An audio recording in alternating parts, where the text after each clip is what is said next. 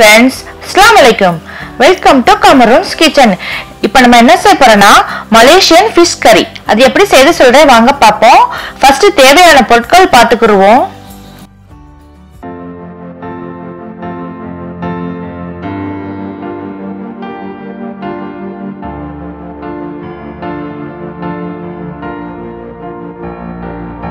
மல்லித்தூள் ரெண்டையும் மிக்ஸ் பண்ணி தண்ணி ஊற்றி இப்போ கலந்து வச்சுக்கிருவோம்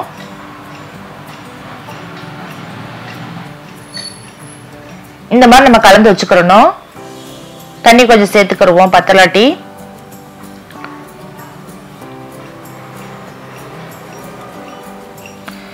இப்போ இதை ஓரமாக வச்சுக்கிடுவோம் ஒரு கடாயில் எண்ணெய் ஊற்றிட்டு இதுக்கு கடுகு வெந்தயம் போட்டுக்கணும் போட்டு நல்லா பொன்னிறமா பொரிஞ்ச பின்னாடி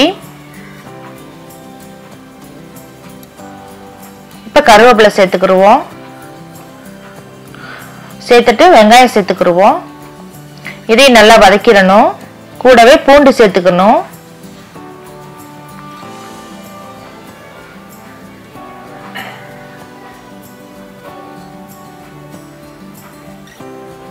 இந்த மாதிரி நல்லா வதக்கி விட்டுருங்க. இப்போ தக்காளி பச்சை மிளகாய் சேர்த்துக்கிருவோம். தக்காளி கரையிற வரையும் நல்லா வதக்கணும். இதுக்கு தேவையான அளவு பூ சேர்த்துக்கிடுவோம்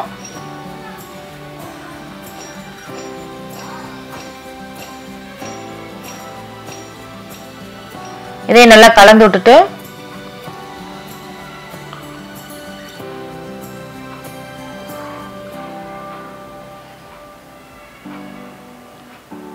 இப்போ ஒரு மூடி போட்டு மூடி வச்சிருவோம்.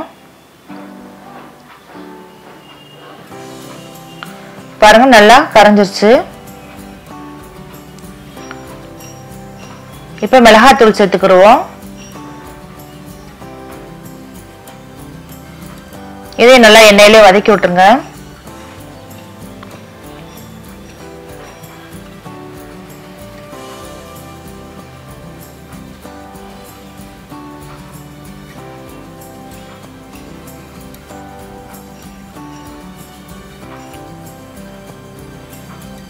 இப்போ நம்ம கரைச்சி வச்சிருக்க மசாலாவை இதோட சேர்த்துக்கிடுவோம்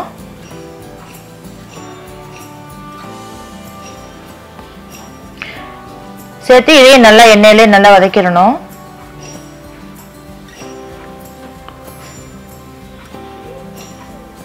இப்போ வெண்டைக்காய் சேர்த்துக்கிடுவோம் இதையும் நல்லா வதக்கிடுவோம் அந்த எண்ணெயிலே நல்லா வதக்கிடுவோம் பார்த்தா வளவளப்பு இருக்காது.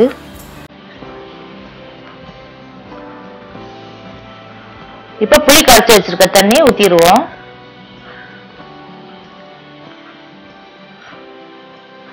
ஊத்தி நல்லா மசாலாவோட போற வரைக்கும் நல்லா கொதிக்க வச்சுக்கிடுவோம்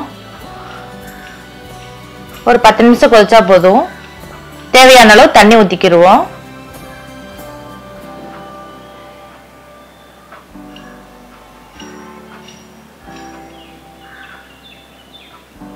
இப்போ ஒரு மூடி போட்டு வச்சிருவோம். ஒரு பத்து நிமிஷம் கொதிக்கட்டும்.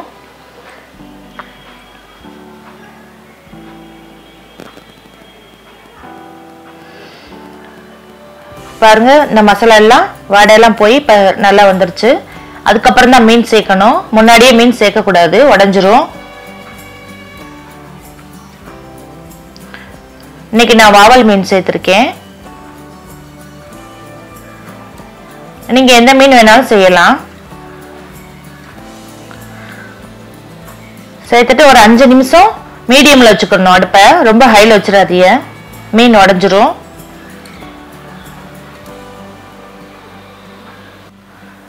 இப்போ பாருங்கள் மீன் நல்லா வெந்துருச்சு. இப்போ லாஸ்ட்டாக தேங்காய் பால் சேர்த்துக்கிருவோம். தண்ணியாக இருக்கக்கூடாது கெட்டியாக இருக்கணும் தேங்காய் பால். மொதல் பால் எடுத்து வச்சுக்கிடுவோம் இப்போ இது ரெடி ஆயிடுச்சு. கருவேப்பிலை கொத்தமல்லி போட்டு இறக்கிடலாம்.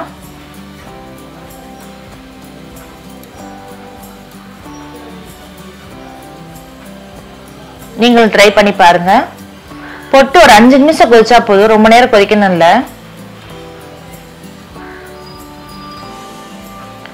இப்போ பாருங்க சூப்பராக ரெடி ஆயிடுச்சு. பிடிச்சிருந்தா லைக் பண்ணுங்க ஷேர் பண்ணுங்க. மறக்காம சப்ஸ்கிரைப் பண்ணுங்க.